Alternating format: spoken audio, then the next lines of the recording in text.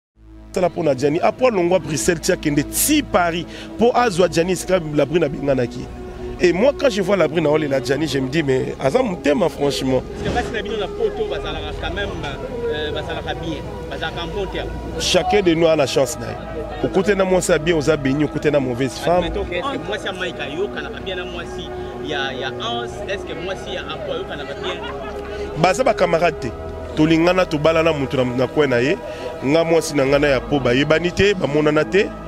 mwasi na ngai na ya 2 minutes batikala kosala connaissance te e bomekaka te kosangisaka basi esiteti pa meme tiga mais jani aza mokolo na ngai jani na mwana oyo toza nene différence ya 3 ans mwana na liboso ngai na ye toza différence ya 3 ou 4 ans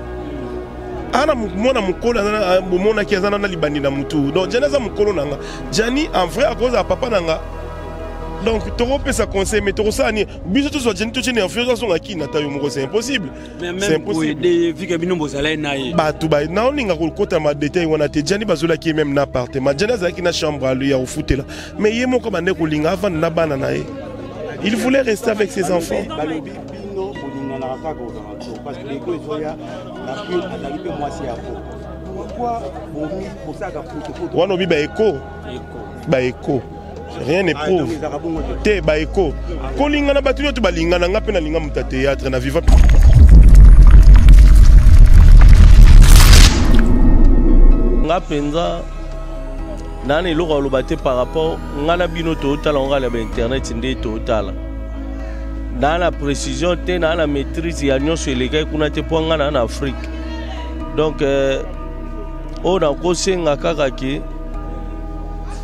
bandeko nyonso bayeba ke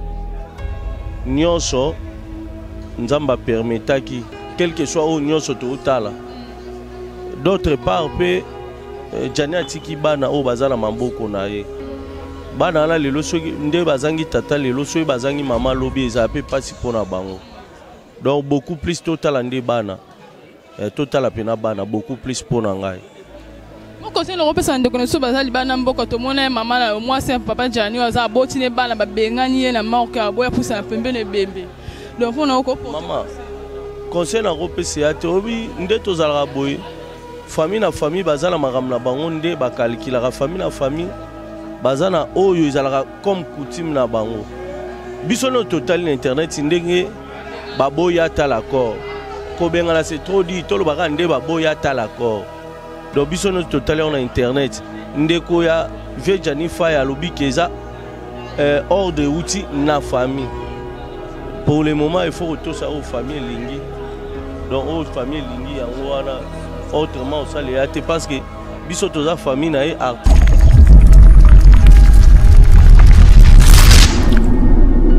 aotikala na douleur ya makasi eza mama eza mama na bana parce que bana bakomi baorfele pardon nabola ngai abola ngai ye atikala osala vi na ye oyo bake akimia kimia alela mpo ana zemi ana zemi yango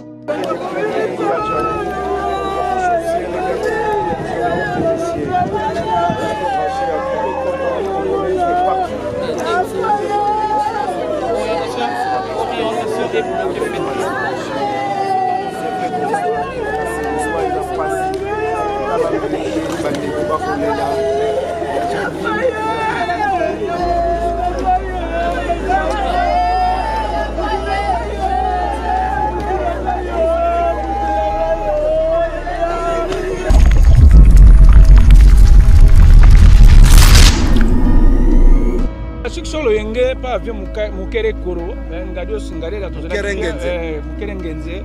asa mudala pante azala na bakombo ebele tozalaki bien éduqué bien instruit tozalaki bien maintenant nde babandaki na labrine bon biso babiloko wana tokotaki te nga mpe nayebaki te ke jani nabandaki na labrine hmm. eh, donc nyonso baoloba mpo na ye en tout cas nayebi te asime ah, kaka asime kaka nyonso ezoyela ye mais nandimi te azwi masasi abeti jani akufi te Mais lelo yo poza un succès mais tomona yo te au plané basi ya poto on s'installa na Kinshasa au vivaka kitoko na ba millionnaire ba Rombox Yannick Kinia ba Chris Ramsès les jeunes producteurs ovanda na yo est ce que okoloba nini na ba comédien oyo to ba masta to biso nous là des chroniqueurs par rapport à quoi envier nazalaka na mwasi na poto nazalaka kaka boye qu'est ce que tu peux dire parce que oza mpe parmi bacommunicateur ya masse oyo bapesaka conseil na bato okoloba boni donc eh, kozala na mwasi na poto eza mabe te eza ndenge yo moko olingeli mm. bon ngai naza te na mwasi na bana na congo naza paye na fin du mois par didi kinwani ah, ti lelo oyo dikin groupe dikin akwea te te aza patron akosakana te ah. do nono moto ambongo akweyaka te ah. eh, moto ambongo akweyaka didi kinwani aza patron akosakana te do bafutaka ngai nalataka trikone ti lelo oyo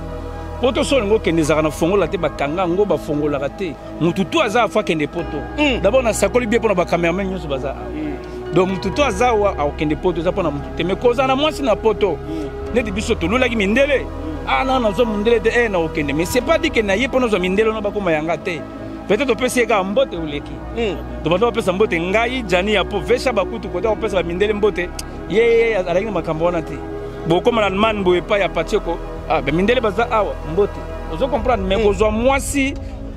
navanda na poto peut-être eza lelo te hmm. soki etangamaka na kozwa na kozwa eh, mais lokola mare aza na balifanto na palais bayebi serio papa nazalaka talaka moto ya kisasa ozomata naza moto ya kisasa mais naza na ngai mwa propre regardez un peu l'avion est là ezokita jani oyo akendaki malgré prophétie bozalaki na ye jani lelo azokita koli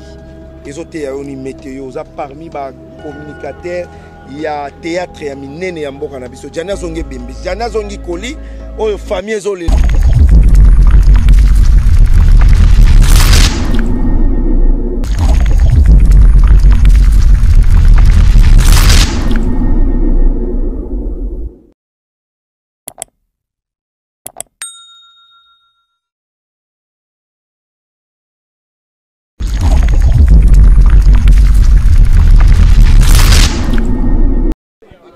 Salut, salut, salut, il y a abonné, nous sommes à HM Télévision. HM Télévision, chaîne d'actualité, HM Télévision, tu vas dans la pénanado. Le logo moniso tozali na aéroport international ya Ndjili. Tu es pour na sengote, tu es pour na mawapo ya koyamba o azalaki artiste. Comedien oyo babengaki ye na nkombo ya Gianni Fay basignomaki ye Luambo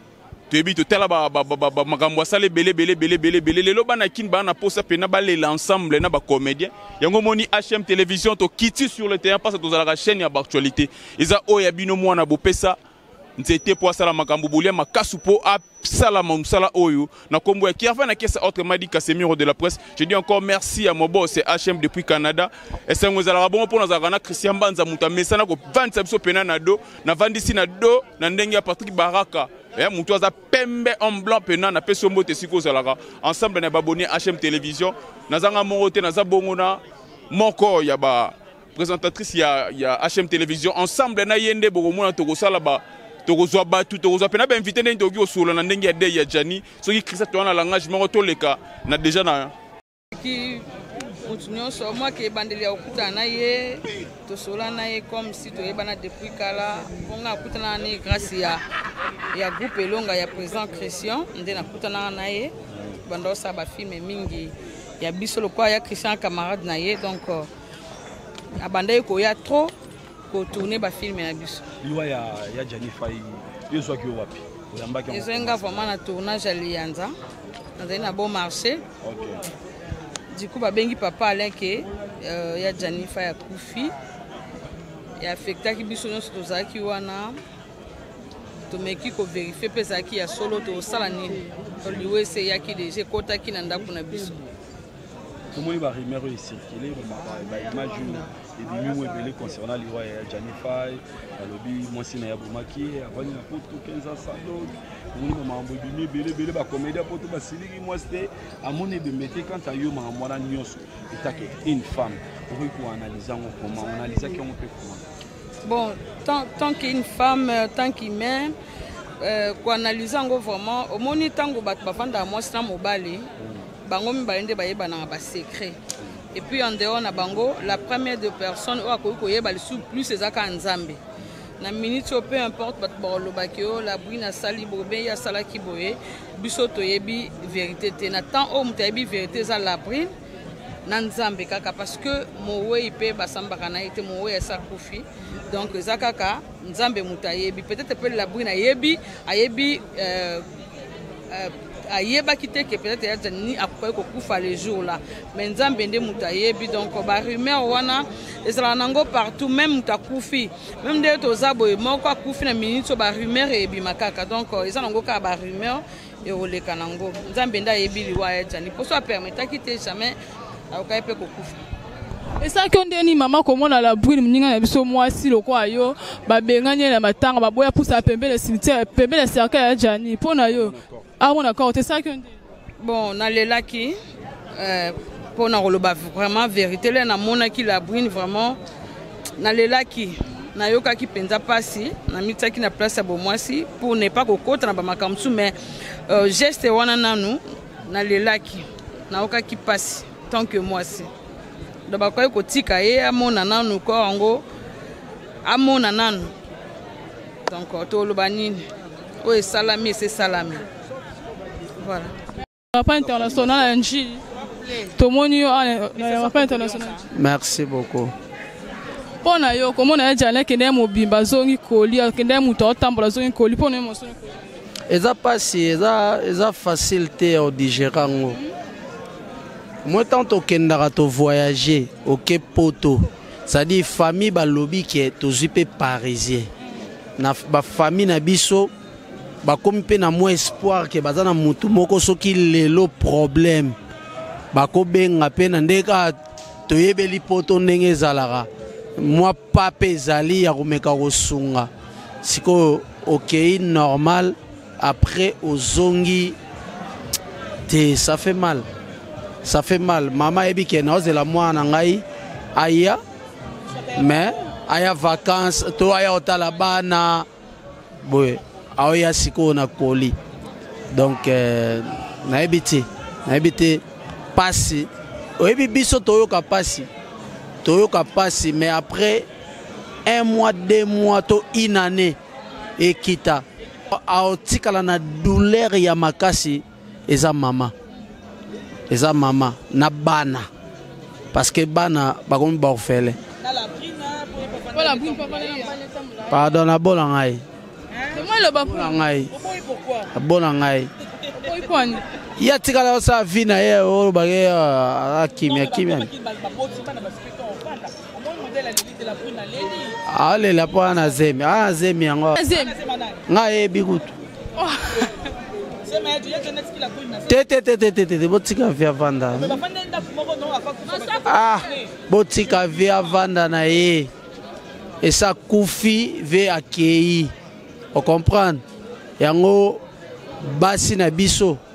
bazwa mayele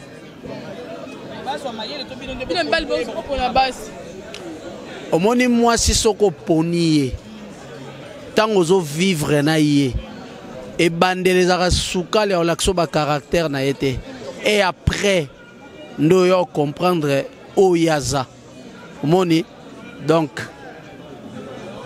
soki ozongi quelque part so otali omonake na generalité vie abanda olinga bana nde makasi anda olinga te aza distance na bana yango wana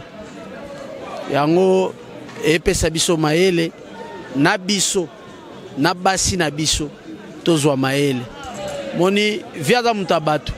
via moto ya bato ya baje te vie ndenge aza wana soki olobi ke wana problème ya jani ah. osanti ke à part baartiste eza na bato bapeti ya vie oyo baye kin mpo na enterrement vie ndeti naa na leticia naa na leticia pire petit ya vie donc alongwe aye Voilà. Donc alongwe aye po kaka amona ndeni bakunda vie na ye po moto asekisaka ye moto ayaka mbrie na palais bonsoir yaya moto ayaka mbrie na palais alongolaki mwa bastress vie sikoyo vie aki oyebi mpasi nini aa nango donc voilà Passe bonsoir mama mwa eloba yo aloba ebele eza te yo lobebe eza te mpasi eza makasi ya fai azokisi mitema na biso asurprendre biso donc twana na matanga yo lobebele eza te lokola mwasi moninga mwasi asali moninga mobali ah, c'est trop compliqué pour l'instant je préfère me taire eza sujet moko très glissant hein? en même temps ezosala mpasi en même temps eza na mambo ebele eza na kati oyo eza c'est pas le moment ya kokota na basujet wana peut-être la prochaine fois sala mpo na jani apres alongwa bruxelles ti akende ti paris mpo azwa jani esika labrine abenganaki Et moi, quand je vois la brune et la Djani, je me dis, mais Azam Moutema, franchement. Parce que Basina Poto, quand même, euh, Basalaka bien, Basalaka en bon terme. Chacun de nous a la chance, d'ailleurs. Au côté de moi, ça bien, aux abénis, au côté de mauvaise femme. Est-ce que moi, c'est Mike Ayo, quand on a bien, moi, si, il y a Hans, est-ce que moi, si, il y a Apo, quand on a bien. Baza, ba camarade, tolingana tobalana moto na kwena ye nga mwasi na ngai na ya po bayebani te bamonana te mwasi na ngai na ya 2 minutes batikala kosala connaissance te e bomekaka te kosangisaka basi esika moko yala dichesse tant ke boyebaki ke euh, janiaba na souffri bino bozala na poto solution ni bozwaki parce que tant tomoni akufi organisation na poto ezalaki tellement bel et bien organisé mais tant ke bana souffri na makambo wana nyonso bozalaki wapi mpona kotrouve le solution soit kozongisa na congo jani solution te kozongisa na congo te lebo bokozongisa na congo c'est pas même tiga mais jani aza mokolo na ngai jana na mwana oyo toza nene différence ya 3 ans mwana na liboso ngai na ye toza différence ya 3 ou 4 ans ana mwana mokolo bomonaki aza na libandi na motu donc jani aza mokolo na nga jani en vrai akozala papa na nga donc tokopesa conseil mais tokosala nini biso tozwa jani totie na influence azonga kini ata yo moko c'est impossible bato naolinga kokota madetail wana te jani bazolaki ye meme na appartement jani azalaki na chambre ya kofutela mais ye moko bande kolinga avanda na bana na ye il voulait rester avec ses enfants bolinganaka kaka ozanga to parce que deko ezoya na bino azali mpe mwasi ya po pourquoi bomi bosalaka potopoto wana obi baeko baeko rien ne ah, prouve te baeko kolingana bato nyonso balingana nga mpe nalinga motate na poto na, na, na, na paris botala mpe na babiloko na ngai natyaka na tiktok apres oyo azolongwa azo, bon aboyaki naloba mpasi abengaki ngambo na yo ozwa ye na, na aéroport apres azokoma l'un de ces quatre matin ngai na mona yo ozwa mpo na aéroport awa donc apres azali ah, yo moto olobi yango eh? ok bon comme olobi seke de eyebani eza bongo atiki bana tosali ba cotisation on va voir après matanga nde toyeba mwana nini nde akozwa nini maxi azalaki kose plaindre ke lutte na ye bino bozala komona yango lokola baje bose réveille ntango bomoni frère na bino papa na bino maxi aza mwasi abandaki koloba mais tokozala na même expression ke maxi te c'est une femme azosala euh, cri d'alarme abandaki koloba oui c'est vrai que mamando baza raison mais biso mibali ntango mibali tokoki koya te toloba lisu mpo tolakisa motu kulutu na biso na faiblesse en plus ndenge nayebisa bino presse boza bolimisa nga na expression boza bahypocrite les hypocrites ke oyo oh, nga na tikana bolimisa nga je parle d'une manière générale lelo jani akufi na omona bino koma bozo honore jani bomozo mais tozonga kaka une année demi après koma jani bavideo ebime na, na, na, na réseaux sociaux bosalelaki yo baanalyse jani makambo ono ti bosala jani aomona yango te me biso moto omona me biso totikali boyebake bokohonore biso me kozala jour tokozala conscient ndeti jani nde bokolobela biso non te non nalobi boye koswana eza problème koswana eza problème te hmm. tomonaka na ngai navanda na belgique eza na émission babenga yango de ces années là ces années là cela veut dire quoi tozolakisa bamakambo eleka bacomédie basala bon merci beaucoup merci président faut badire jui ya makambo ekomeli ya jani kaka na poto te hmm. meme na congo soki osali shwa maba mwasi bake oponi couleur ya cercueil na hmm. kaka na poto te mwasi aza capable ya kotalela o destin aza capable ya koarrete destin une fois ke mwasi akoma omona libanda ata ye ozotambola bien yebaki ezomemelo malédiction mwasi akangaka baporte mwasi afongolaka baporte quant à elle de se décider soki alingi afongolo baporte akofongolo baporte soki alingi ozala beni ozala beni mais une fois ke boza na ye ndako moko bozo partage même lit soki mpe alingi atya wana mabele aotya wana mabele mais le plus important eza ke nde komoni ke ya danger tu peux jamais vivre avec une femme ke auti obota libanda mwana na aza na ndako omona mwana eza fruit ya tromperie ya motu c'est impossible nayebi te mobali na ondima yango ke de vivre avec une, fa, une femme oyo oh, ke mwana na auti libanda aboti na mobali mosusu mais moi je suis encore là C'est ça des choses inacceptables en fait. À disparaître. Parce que na minute ye moko akoma comprendre gravité likambo. Hmm. Eh akoma comprendre ah jana ngona zalende anda ko peser boye. Hmm.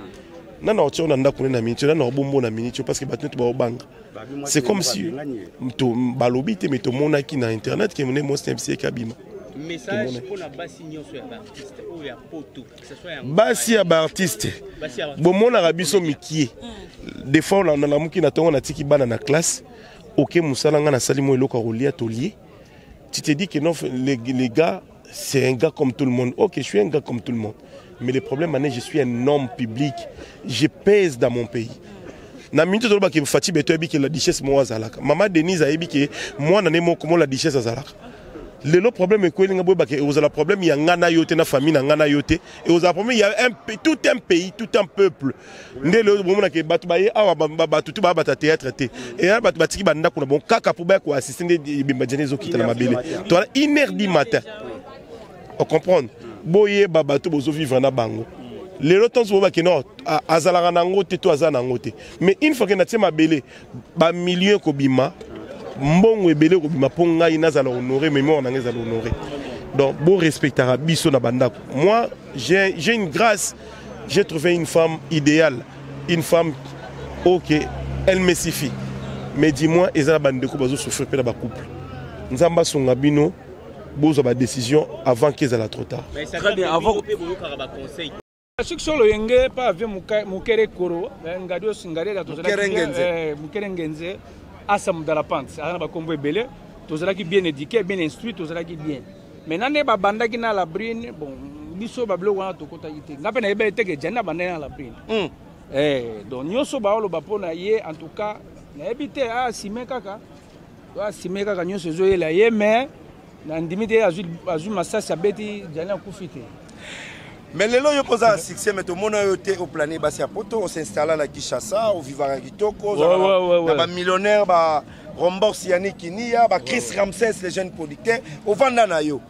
est ce que okoloba nini na bacomédien oyo to bamasta to biso nous là des chroniqueurs par rapport à koenvie nazalaka na mwasi na poto nazala kaka boye qu'est ce que tu peux dire parce que oza mpe parmi bacommunicateur ya masse oyo bapesaka conseil na bato okoloba ah. boni donc eh, kozala na mwasi na poto eza mabe te eza ndenge yo moko olingeli hmm. bon ngai naza ja na mwasi na bana na congo naza paye na fin du mois par didi kinoani ti lelo oyo dikini groupe du kin akwea te te aza patron akosakana te do nono moto ambongo akweyaka te moto ambongo akweyaka didi kino aza patron akosakana te do bafutaka ngai nalataka trikona eti lelo oyo mpo to solo yango okende ezalaka na fongola te bakanga yango bafongolaka te motu to aza afo akende poto mm. dabord nasakoli bie mpo na bacameraman nyonso baza awa mm. donc motu to aza awa akokende poto eza mpo na motu te mais kozala na mwasi na poto mm. neti biso tolulaki mindele mm. a ah, nanga nazwa mondele te e nakokende mais c'est pas dit ke na ye mpo nazwa mindele wana bakoma yanga te mm. peut-être opesi ye kaka mbote oleki mm. tobanda bapesa mbote ngai jani ya po vesha bakutu kote akopesaka mindele mbote ye alaki na makambo wana te bokoma na allemagne boye epai ya pacheko ah, bamindele baza awa mbote ozo comprendre mais kozwa mwasi navanda na poto peut-être eza lelo te hmm. soki etangamaka na kozwa na kozwa eh, mais lokola mare aza na balifanto na palais bayebi serio papa nazalaka talaka moto ya kisasa ozomona te naza moto ya kisasa mais naza na ngai mwa propre regardez un peu l'avion est là ezokita jani akendaki malgré prophétie ozalaki na ye jani lelo azokita koli ezoteya yo ni meteo oza parmi bacommunicateur ya théâtre ya minene ya mboka na biso jani azongi ebembe jani azongi koli oyo famille ezole ba ex bazolela na labri ba ex acteur artiste te ba ex na ye mpe bazali baartiste na yaseri ya kala mpe baza bazolela bamonanaka kutu ebele soki moto akufi ah! ah, bamonanaka wongo abimi na mbinza oyo abimi na yolo abimi na matete abimi na ngaba abimi na kinkole hmm. bakolelaka sukasuka malgre baye kolela baza mpe na oyo ya bango omona ndenge ezalaka Eh, mère vraiment yo olali mazolo ke likolo mais jo moko azobisa ya basala bakunda ye ko basala bakunda tosolola ozo comprendre hmm. eh, eza mpasi ndenge azoya koli boye mais tokozwa ye kaka aza ndeko na biso nosengi mama denise merci fondation okay, denise nakero soki azalaki te peut-être nde tomoni ndenge azokita wana te eh, yango mo bato bazofinga batika kofinga ni labrine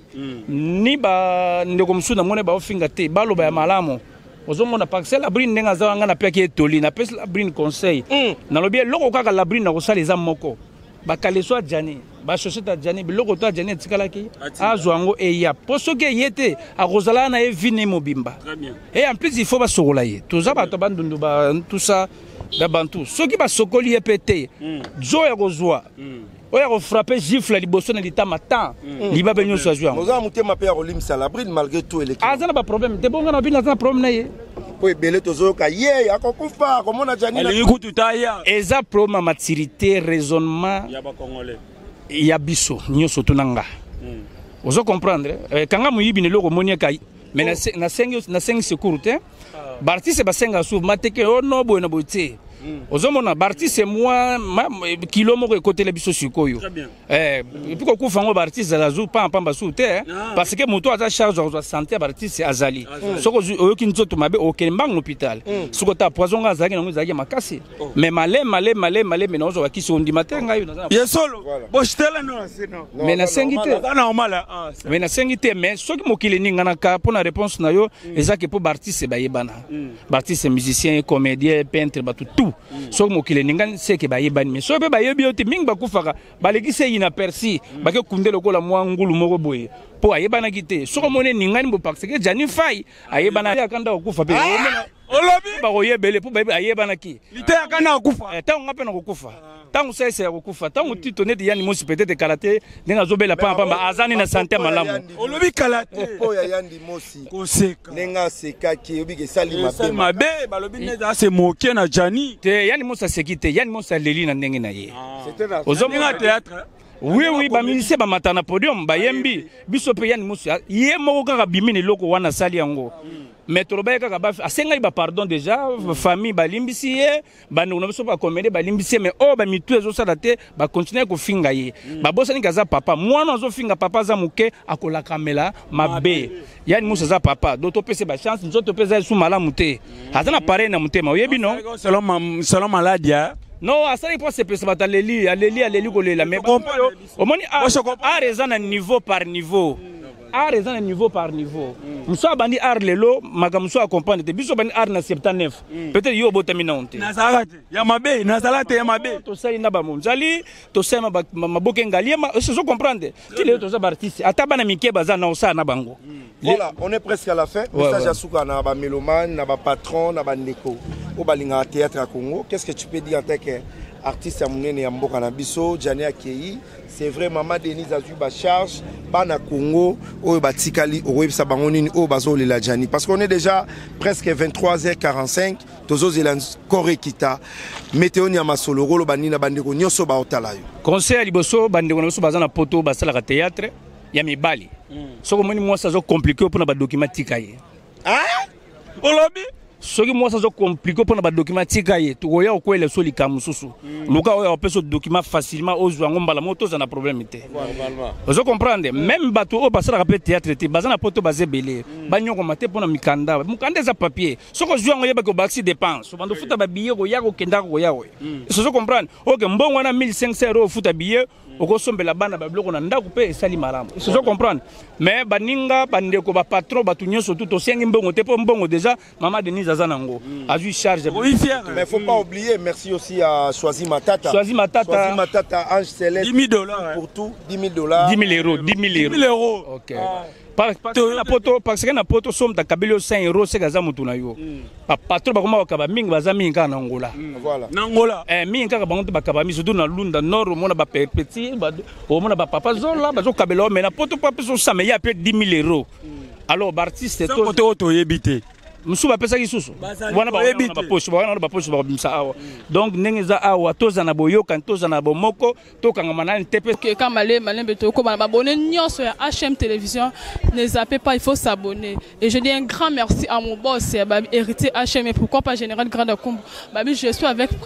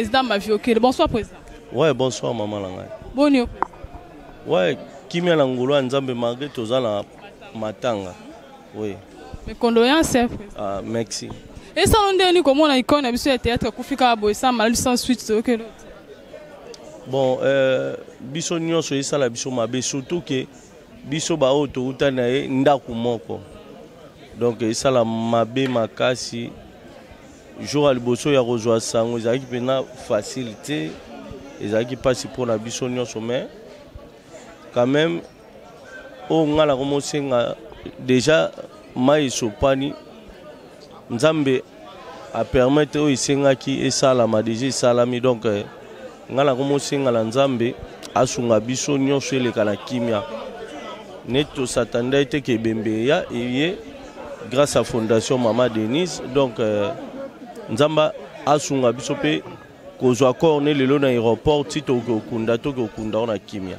merci président baprésident jani akufa kaka bo abeli te eloko te toyoka sangoki akufi mpo na mwasi basusu mpo na oyo kolobani mpo na labrune mwasi oyo ah, dérange molimo ya président jani kone ya biso ya théâtre oyo oh, akomi akufi mpo na mwasi mpo na kopimele mokanda mpo na yo emotion bon euh, nga mpenza naa na eloko aloba te par rapport nga na bino tootala ngo kaka na bainternet nde tootala naa na précision te naa na maîtrise ya nyonso elekaki kuna te mpo ngai naa na afrique donc euh, oyo nakosenga kaka ke bandeko nyonso bayeba ke nyonso nzambe apermetaki quelque soit oyo nyonso tootala d'autre part mpe euh, jani atiki bana oyo baza na maboko na ye bana wana lelo soki nde bazangi tata lelo soki bazangi mama lobi ezala mpe mpasi mpo na bango donc beaucoup plus totala nde bana eh, totala mpena bana beaucoup plus mpo na ngai mokosini loko opesa ndeko na biso baza libanda mboka tomona ye mama na yo mwasi ya papa jani oyo aza aboti ne bana babengani ye na morke aboya pusa na pembeni ebembe donc mpo na okopomama conseil na kopesa ya te oyebi nde tozalaka boye famille na famille baza na makambo na bango nde bakalikilaka famille na famille baza na oyo ezalaka comme coutume na bango biso nde totali na internet ndenge baboyi atala accord kobengana c'est trop dit toloba kaka nde baboyi atala accord donc biso nde totali yango na internet ndeko ya vieux jani faya alobi ke eza Euh, ordre euti na famille pour le moment il faut kotosa oyo famille elingi donc oyo famille elingi yango wana autrement osalela te parce que biso toza famille na ye famille biologique na ye mpe bazali donc famille biologique nde bainterdire mwasi amona corps c'est tout merci je savais que président maviokele oyo apita okokoba na makeleke question mpo topanzana toluka baartiste mosusu nde toza tous les abonnés à hm télévision il faut pas ne zappe pas ne zappe pas il faut s'abonner et liker cliquer la cloche de notification pour rien rater baye président maviokele mpo na yo tokoba kaka président maviokele mpo na yo conseil noko opesa tomoni bamama mama baprésident janide abimi na bainternet aolela ki organisation eza mabe baokipe te eloko te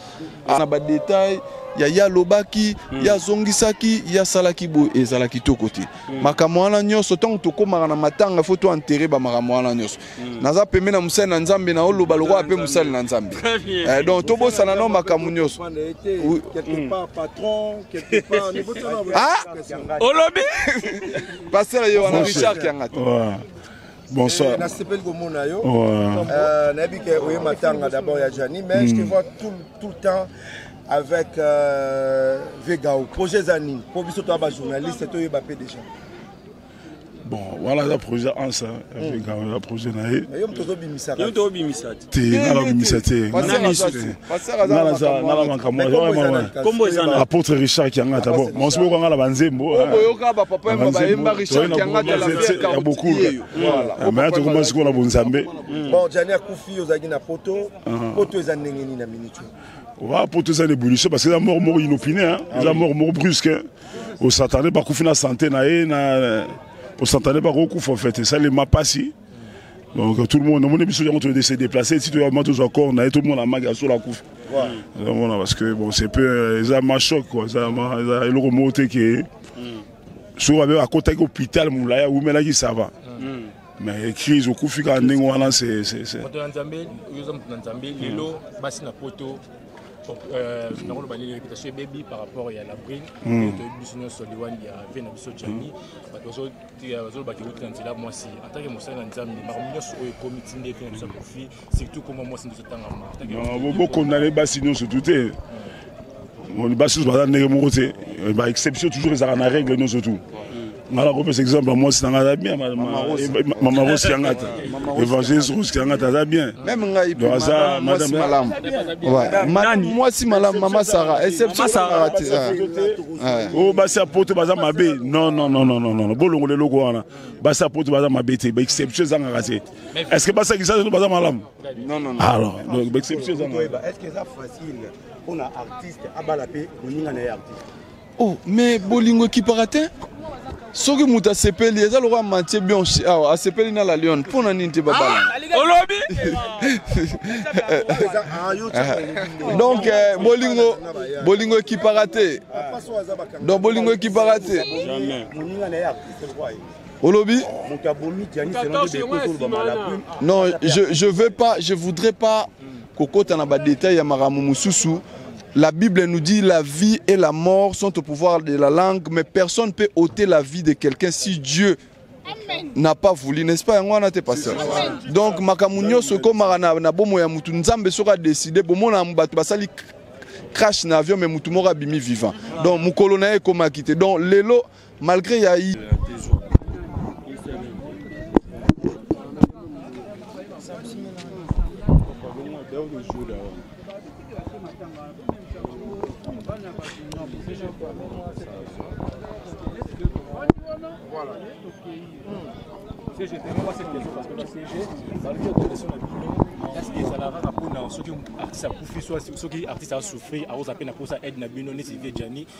nde ando souffrir na poto des autres disent que azalaki soni moto ando osala ye mpo azonga kin mpo avanda wapi mais en tant que bozalaki na baorganisation tant que boyokaki vie baobenga nde mpa mwasi est ce que bokoki mwa idée ke bosangisa bobelela mbela mpo vie ayacette question na opose kaka mpo ezala question vous savez, nous tous, nous avons une vie à biso, et puis chacun a une vie privée. Mm. Oyaye. Oh, mm. Hein? Oyo oh, C'est sa vie privée. Hein? oyo etali laisse moi parler quand même soki eye na internet aza na conflit na mwasi na ye l'association n'est pas là pour gérer baconflit ya mwasi na mobali ya bolingo voilà. papa obimisa association ekomi nini nous défendre bien-être ya artiste o par rapport mosala na ye mosala na biso makambo wana eza ya bolingo hmm. toi tu as dit que nazoyoka kaka je ne confirme pas hmm. que nos amis de l'europe bamosusu bakendaki balobaki ne boye mai bokeba nga na boye c'est comme ça c'est l'amour ndenge ye azali topesa ye tort te nga mpe naza na bafaillite na nga ya, ya bolingo mm. opa c'est comme chante un musicien bina file chacun a un problème ya bolingo même basango ya mwasi te mais peut-être ya bandeko ne ya libota voilà. donc euh, voilà bomema ngo te fardeau mpo na nini bosalisaka te mpo na nini bosalisaka te te les gens peuvent commenter ils savent que tokoki kenti na nini wana te Hein, toko gérer euh, mbetu na été foyer na été que yo sala boye yo sala boye non là ça ne concerne pas mbongo epesamaki na poto na baartiste hmm. est ce que bopesa hmm. euh, la brune to boya opesa famille ya po nungunungu eyebimake baartiste mosusu basi balie mbongo wana partir ya hmm. poto Voilà, là les, les gens balobaka hein? mais bino baza bakoya te hein. mais bien avant déjà mpo to eza na baréalité na yango omoni nde bandoko expose wana na funerarium wana un mosusu babi soki 3 heures il paraît un mosusu ezwi 1400 euro par exemple hein? par exemple nalobi Il y a quelqu'un qui m'a dit moi la poto marowe. Mais ba mbongo wana sur la dépense pour moi ne bazo exposer bazo sa matanga bazo sa banino ba opposer ngo wapi. Na lobi te que bazui on a dépense wana parce que bango et même aussi on cotise papa. Les artistes ont cotisé. Mm-hmm. Na volonté na bango. Allez ba liya kaka oyo wana bakoki utiliser mpe mwa dépense ekozanga te mm. mais ere eh, bakoya papa to anticipe kofinga bango moyibi avant te mm. soki bofingi bango moyibi e baye na ndako bakutani na libota tala tosombaki boye me tala mwa mbongo ndambu yango oyo ozo comprendre mm. ah, là ce sont des, des, des faux fouillants ambassadeur n'a rien donné comme euh, apesi mbongo toza na confiance ya bandeko na so baartiste bakotaki balobi epa ambassadeur ambassadeur ayebi ke la première dame azwi charge ya matanga sikoyo akobimisa mbongo wana mpo esala su nini ah, voilà c'est une voilà question kitoko eh. l'ambassadeur aza représentant ya chef de l'état ayoki na communauté na ye ke eh, likama boye ekwei azomonaka mpe na internet papa soki abengi ayoki mpe nungunungu bango mpe basengi bakutana na ye akoki koyede bango mpe na badokima administratif parce que mpo moto alongwa kuna nzoto ya mama ya mutu eza facile nous on a vécu ça na ndeko na biso akufaki na point noir le président elombe ti akendaki na ambassadeur na niveau ya congo braza esengaka mikanda makambo ebele ebele il faut pas toujours voir l'argent moi il y a un, un, c'est un général de l'armée hein, le général dodo chinyama il, il, il a même félicité baartiste comédien na courage wana na bawana nyonso bake pa ambassadeur esali mpe bien te kolakisa mpe mwa grandeur ya, ya Gianni. Il ne faut pas seulement voir l'argent, il ne faut pas seulement voir que Pony va même la brine. Il faut qu'on appelle démarche wana et l'accès peut grandeur ya, ya artiste. Ils ont fait un grand travail. Merci na ba comédien ya diaspora. Ah oui. Na ce que Bosali, Bozaki unis, solidaire, nous on emboîte les pas. Ba le boba ke biso na ka, na ka na biso biso to linga équipe pola. Te. Yoko to linga to honorer ndeko na biso jani ndenge esengeli ah, eza kaka ye te wana yo sikoyo moto olobi sikoyo soki moto akufi te eh. ndenge akufi te eh. bakofutela ye mboko na morgue ah, ozomona te ke estce la biso ngai biso association tokopesa mokanda non non non je comprends question non non non non hmm. Mais bino pene bozaka boye, bozaka niveau na na niveau. Il faut des questions si réfléchies. Ah, Quelqu'un vit en Europe qui a un problème ya mukanda au condamné association to ba ningane ba comédien pour la ni bo pesa ki mukanda te. Ah. Mais c'est l'année vous salut. C'est quelle chaîne C'est l'année vous salut organisation mais quand même aux affaires fiers que Mamadou Zokende bien de combien niveau. Primo on remercie Enormément la première dame. La première dame, la première dame, merci beaucoup. Na acte wana posé. kozwila biso kozwa charge prise en charge ya ndeko na biso kolongwa kuna ti awawa on peut tout dire en tout cas on remercie la première dame et puis c'est pas seulement eh, mpo moto akufi même na baka ya maladi je vous dis soki prise en charge ya mama denise eya te même si tokunda déjà 28 mais asali quand même mwa ata ezalaki mwa moke malembe malembe akonosala nini nzambe asunga mpo amatisa mwana mais mwa ndambo wana ezalaka lelo vieux gawa ata abeli tozali ne bademarshe na karte na ye moto babeli mwana artiste akobene na mwasi na bana akei na bamédecin de nuit na bopito ya minene au moins mwa ndambo bien que on se bat ke nzambe asunga ye apesa ye makoki ebele mwa nombre epesa ya so nini ebakisama ocomprendre c'est ça le grand tozalaki na anse ekomi lelo anse aye atie assurance euh, santé na ye alakisi yango boye par exemple hein. ba david mangaya balakisi biso mpe tosali nini tolakisi voilà une question qui m'arrive je suis dans de dieu métis noir de la presse congolaise dans ciel tv une question qui m'arrive euh,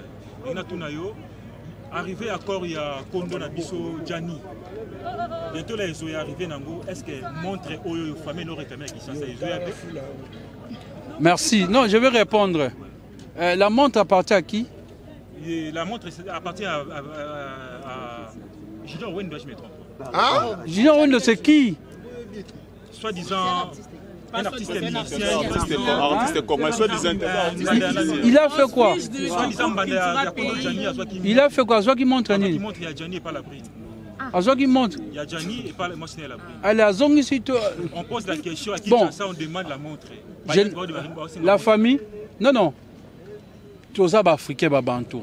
nous savons soki mwasi mobali akufi te un moment donné même bakangi chambre na ye famille asara nini akosenga aofongola la ekomi likambo ya famille biologique c'est la famille biologique jani a sa famille biologique d'abord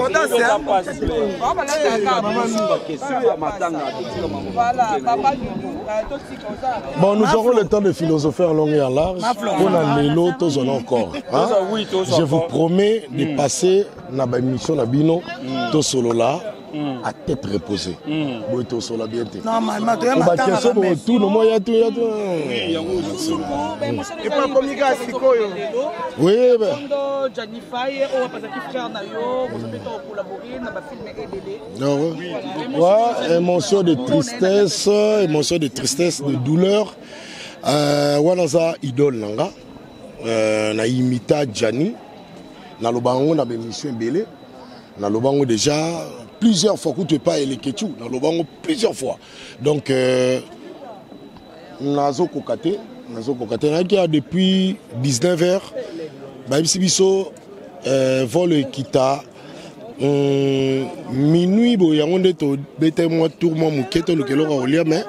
tozongi ntango esi soki heure oyo déjà tokopusa nde yango napusani mais je vous promets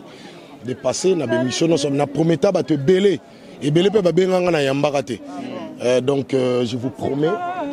ke ekoleka bien tokosolola tokosolola vraiment nzambe na nga apambola bino nyonso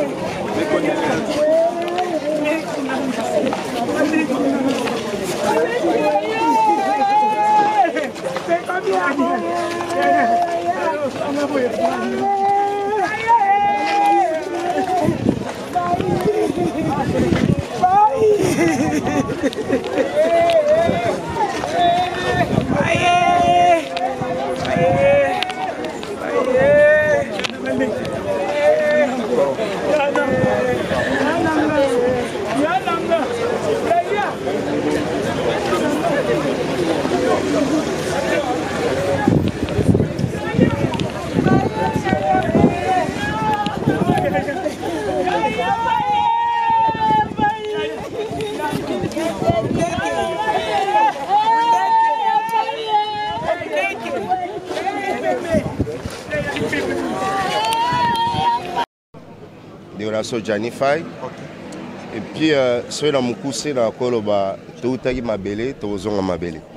donc c'est à dire euh, notre présence en celie eza juste signe ya ko kolakisa que nous sommes ensemble nous pleurons ensemble avec la famille biologique okay. et les artistes et comédiens mpo na rapatriement ya ndeko na biso janifai voilà naza na question moko ya curiosité natuna président omar parce que nayebi ki oza leader d'opinion eh, parole na yo moko ekoki koapese mpe bato oyo bazolanda biso parce que batelespectateur ba, ba, ba na bainternaute nyonso na bafani na bino bazalaki vraiment epuis baza na bainquiétude makasi par rapport ya présence ya notre sœur Labrine na morgue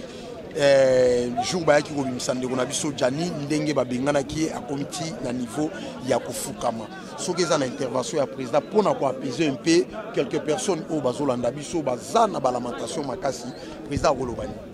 Voilà, euh, je pense que on a kolo ba balabi ba pekisa mutu soka linga kende. Soka si akeyi oko pekisa sous te. Et puis ba dressaka nzete so za muke. So ese tenga mais c'est tenga. C'est-à-dire le vin tiré faut les boire. Okay. Donc, oui, c'est salami et c'est salami. Nasrelo, on l'a parce que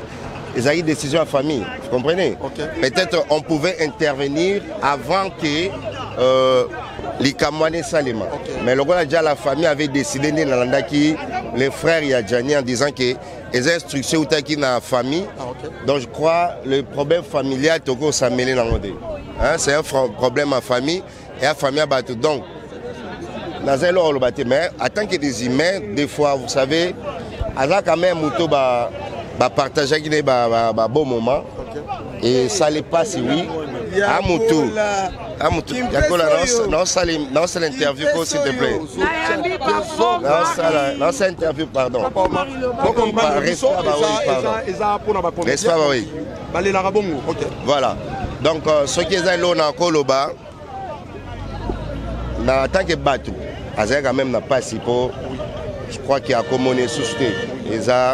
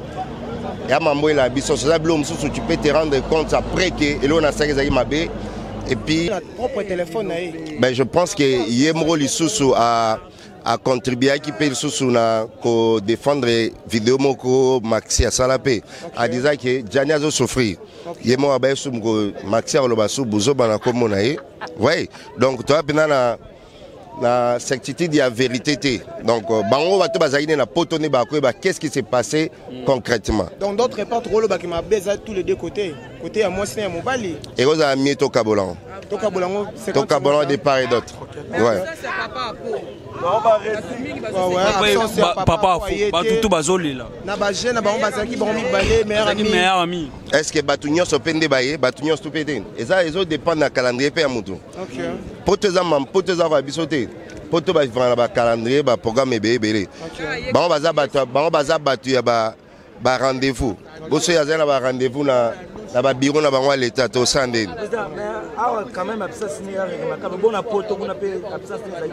l'essentiel famille nezali c'est vrai bazali ba amis mais tout peut arriver dans la vie merci merci merci beaucoup euh, tonton o euh, euh, lelo déjà tomoni